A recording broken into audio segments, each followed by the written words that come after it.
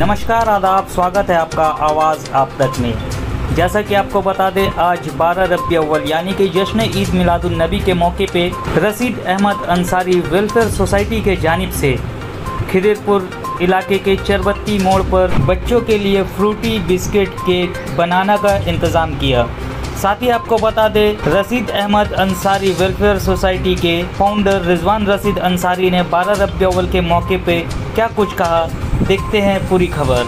अल्हम्दुलिल्लाह, हर साल की तरह इस साल भी दरियावाद, बाराबंकी डिस्ट्रिक्ट में भी मेरा कैंप लगा है और हर साल की तरह इस साल भी चार बत्ती मोड़ में जिस तरह हम प्रोग्राम करते हैं, मेरा टीम करता है।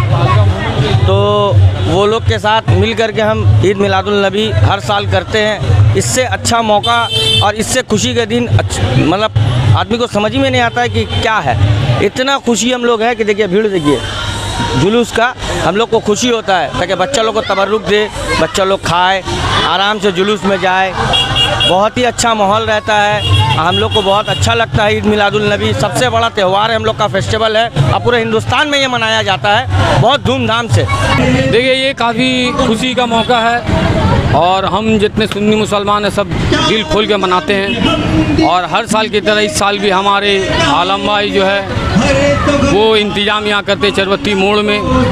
छोटे छोटे बच्चे और बड़े सभी इसमें शामिल होते हैं। ये बहुत ही बहुत ही खुशी का माहौल है हमारे हुजूर की आमद में। और ये हमारे आलम भाई जो है यही चरबत्ती में यहाँ के पूरा इंतज़ाम करते हैं और हम लोग इनके संग शामिल रहते हैं। और सभी आवाम से यही कहते हैं कि ये इ- ईद मिलादुल जो नबी है, ये आप लोग भी थोड़ा जम के मनाएँ। देखिए, इंतज़ाम केला था, बिस्किट था जूस था, ये फ्रूटी और माजा, ये सब जो बच्चे लोग केक, बिस्किट तो ये सब जो इंतज़ाम हम लोग किए हर साल की तरह इस साल, और आने वाला मौका इन उनका करम अगर हुआ तो और ज़्यादा से ज़्यादा इंतज़ाम करेंगे।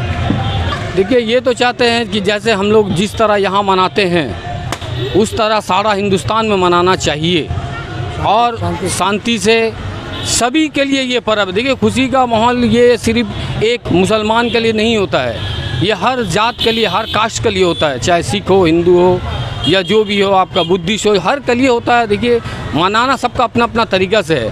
हम तो यही चाहेंगे कि हमारी इस खुशी में सभी शामिल हों और ज़्यादा से ज़्यादा हम लोग को भी हौसला दें आप लोग।